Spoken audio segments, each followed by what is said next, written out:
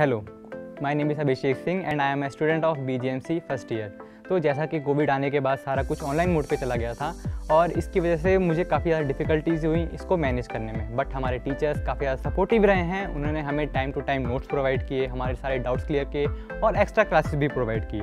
मैं कहना चाहूँगा कि हमारे टीचर्स और मेरी सेल्फ स्टडीज़ की वजह से आज मैंने टॉप ट्वेंटी में जगह बनाई है